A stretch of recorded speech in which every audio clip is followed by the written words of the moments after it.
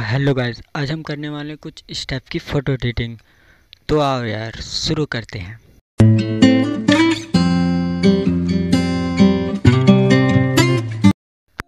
सबसे पहले PicsArt application को ओपन कर लेना है। इसके बाद आपको एडिट फ़ोटो में जाना है। इसके बाद बैकग्राउंड वाले ऑप्शन में जाना है और वाइट कलर का बैकग्राउंड चूज़ कर लेना है।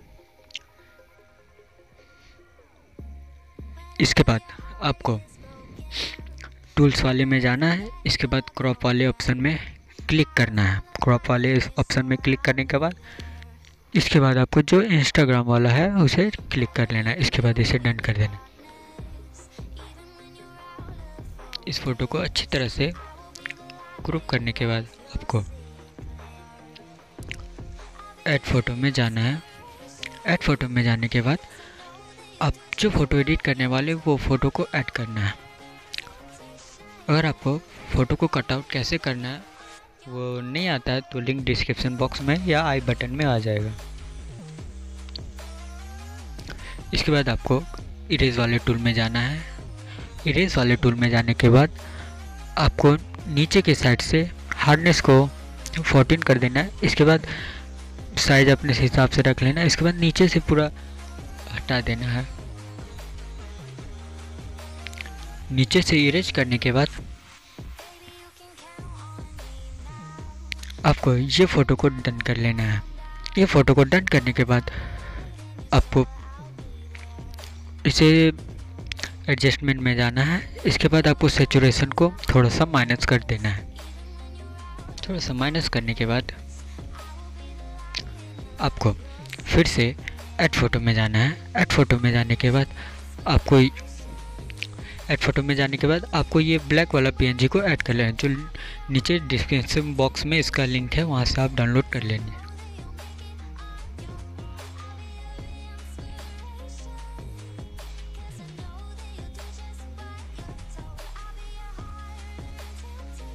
इसे अच्छी तरह से एडजस्टमेंट करना है। इसके बाद इस फ़ोटो को डन कर लेना है। डन कर लेने के बाद आपको सिंपल इसे ड्रॉ वाले टूल में जाना है और ड्रॉ वाले ऑप्शन पे क्लिक कर लेना है। इसके बाद आपको सेव वाले ऑप्शन में क्लिक करना है। सेव वाले ऑप्शन में क्लिक करने के बाद आपको इसे फिल कर लेना है। लाइन वाले को टच करके इसे फिल कर लेना है और इसे ओके कर देना है।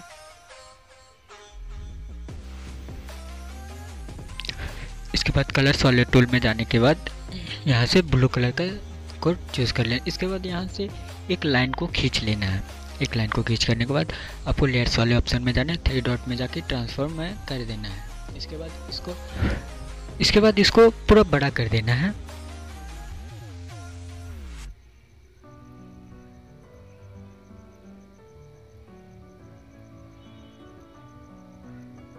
इसको पूरा बड़ा करने के बाद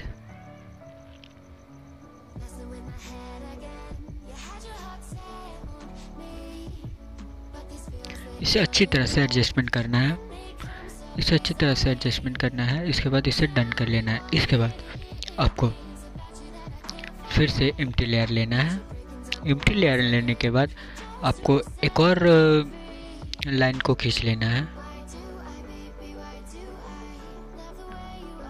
फिर से आपको सेफ़ वाले ऑप्शन में जाना है। तो सेफ़ वाले ऑप्शन में जाने के बाद आपको फिर से वही स्टेप करना है और एक लाइन खींच लेना है।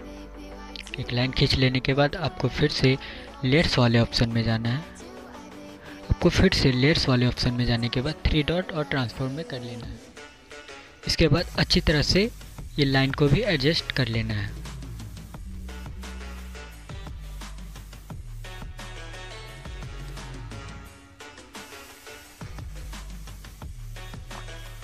इसके बाद ये फ़ोटो को डन कर लेना है।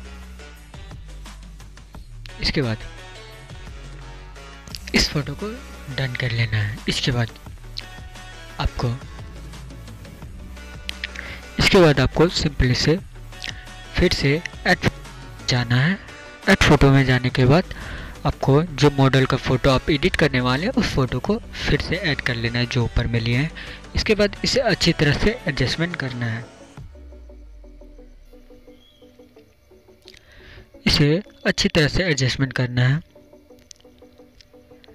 इसके बाद आपको सैडो वाले ऑप्शन में क्लिक करना है। इसके बाद इसका थोड़ा सैडो बढ़ा लेना है। सैडो को बढ़ा ले, अच्छी तरह से एडजस्टमेंट करना है, जिससे कि फ़ोटो अच्छा दिखे।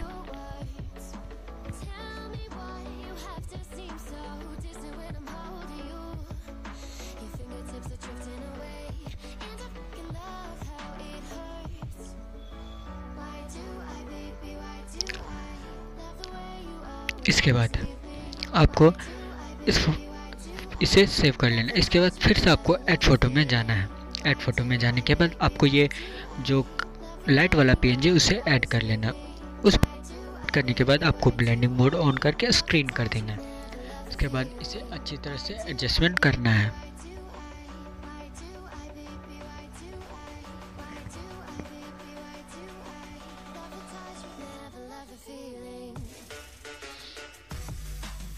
इसे अच्छी तरह से एडजस्टमेंट करना है। इसके बाद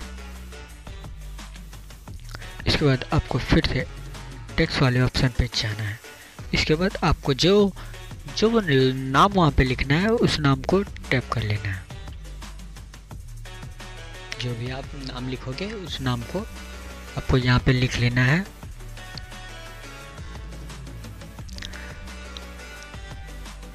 आपको नाम लिखने के बाद लिखना है, वो अच्छी तरह से लिख लीजिएगा।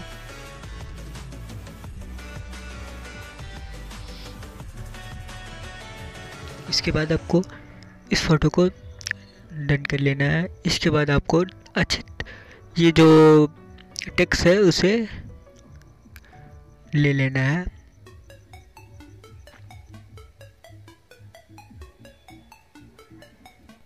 इसके बाद आपको क्लस वाले टूल में जाना है। क्लस वाले टूल में जाने के बाद आपको रेड कलर चूज़ कर लेना है। रेड कलर चूज़ करने के बाद इसे अच्छी तरह से एडजस्टमेंट करना है। तो आपको इसके बाद आपको ये जो थ्री डॉट है, उसमें क्लिक करके डुप्लीकेट लेयर बना लेना है। डुप्लीकेट इसको डुप्लीकेट बनाने के बाद आपको अच्छी तरह से एडजस्टमेंट करना है। इसके बाद फिर से आपको एक और डुप्लीकेट बना लेना है।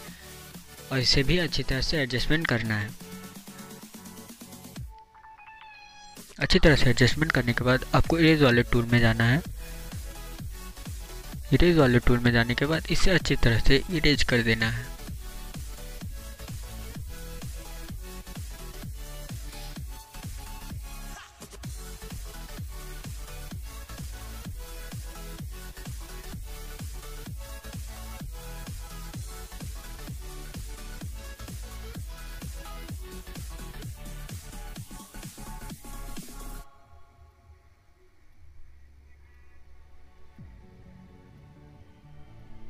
इसे अच्छी तरह से एडजस्टमेंट करना है अच्छी तरह से रेज करना है जो सर पे है और इधर उधर जो लगा हुआ है उसे हटा देना है।